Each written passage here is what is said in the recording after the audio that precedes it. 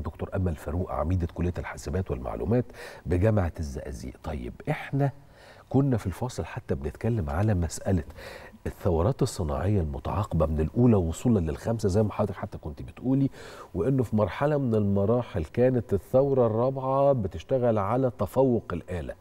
الخامسه بتشتغل على إعادة التفوق للكائن البشري تمام. للإنسان. بتعمل دمج ما بين في ال artificial intelligence الجديد في الثورة الخامسة مش هنعتمد بس على ال robotics وال وال electronic circuit وإلى آخره لأ إحنا لازم نرجع العنصر البشري مرة تانية لأن هو طبعا هو اللي عمل كل الكلام ده والمخ البشري هو اللي عمل كل الكلام ده.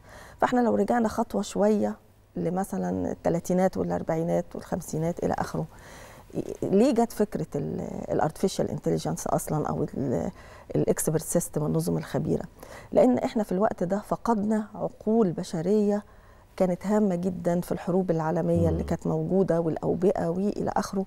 فبالتالي اتجه الإنسان آه، إلى إنه آه، يوثق معلوماته ويوثق ثقافاته آه، في شكل ال artificial intelligence وال expert system وبعدين اكتشفنا إنه ال- الحكاية دي كويسة جدا لأنها بتساعد بقى على نمو العلوم ودقة الصناعات وأماكن ما بنقدرش نوصل لها زي مثلا أعماق البحار إلى آخره ممكن ال robotics تعمل الكلام ده.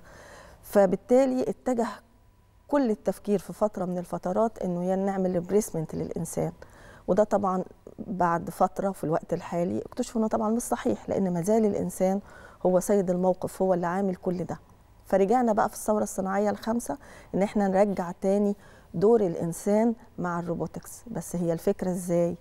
ندمجهم مع بعض إزاي؟ نعمل ما بينهم وبين بعض تآلف إزاي؟ نوزع الأدوار إزاي؟